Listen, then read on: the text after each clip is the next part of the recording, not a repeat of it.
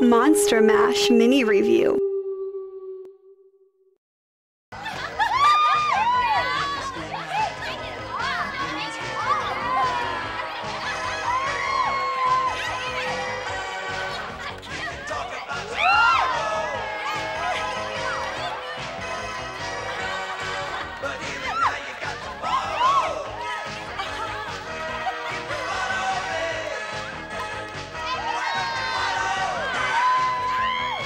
Ah, so this is what happens at slumber parties. Slumber Party Massacre 3 is an 80s holdover released in 1990, featuring big hair, cheesy music, and tons of 80s flair. It's also the best entry in the Slumber Party Massacre trilogy. How long has that guy been sitting there? A while, I think. Looks weird. Yo, buddy, keep your eyes to yourself. See that? He averted his eyes. That's a sign of submission.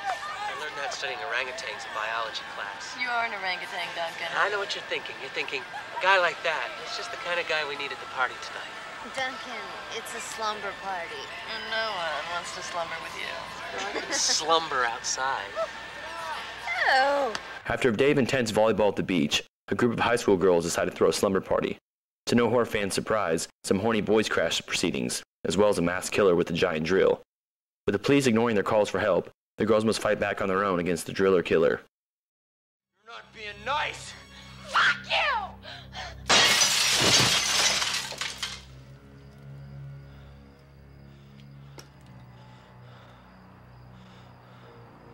What a waste. Although having no connection to the first two movies, Slumber Party Massacre 3 is an entertainingly cheesy slasher that manages to also feature a few disturbing moments of terror. It's a strange blend of low-budget cheese and raw brutality. For almost every laughably amusing scene, there seems to be a scene of genuine disturbance. It's definitely one of the better slasher films to come out during the last half of the 80s and early 90s.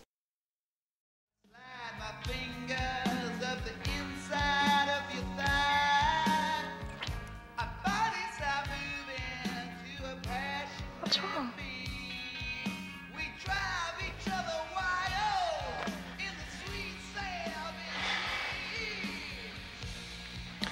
think I drank a little too much beer. Ken, don't worry about it. Whiskey Dick strikes again. The backstory of the killer is pretty disturbing. From what I could piece together, it seems the killer was molested by his police officer uncle and now has problems getting it up for the ladies. It's an interesting, if slightly vague, backstory. Brittain Frye, of Hide and Go Shriek, is amusing and entertaining as the killer, throwing out one-liners, wearing a creepy disguise for the first few kills, and having a psycho killer headquarters in a van parked outside the house, complete with corpses and burning candles. It's only us. It's only us. Shirts? When in the hell are you gonna grow up? You guys, it was really immature! Hey, we didn't know you'd be dancing around naked. if we knew, we wouldn't come sooner. You stupid perverts! Why don't you guys go jerk off somewhere? The cast is a mixed bag. Lulu Williams is the slut of the group and is probably the hottest girl of the bunch. David Lawrence, who plays Frank, is a dead ringer for Family Guy comedian Seth MacFarlane. And the one actress that actually surprised me in this was semi-scream queen Maria Ford. The majority of films I've seen her in, such as Stripped to Kill 2 and Strip Teaser, she has been painfully wooden and downright terrible. But she manages to turn in a decent performance here, and her semi-rape and disembowelment by drill is one of the highlights of the film. She's as hot as ever in SPM 3, but the red wig is a little distracting.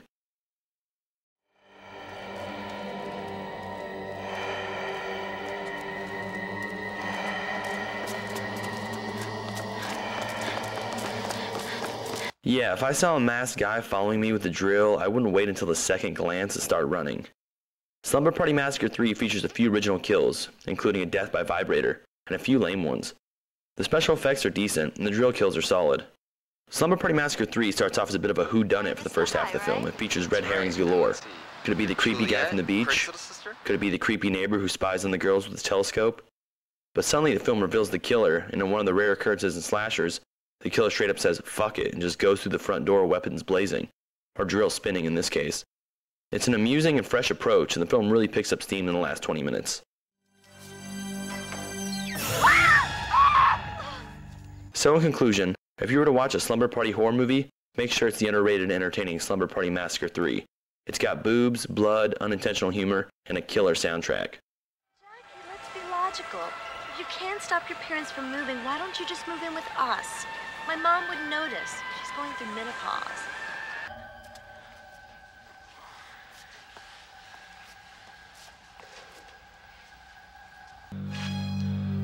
Never, ever admit your weaknesses.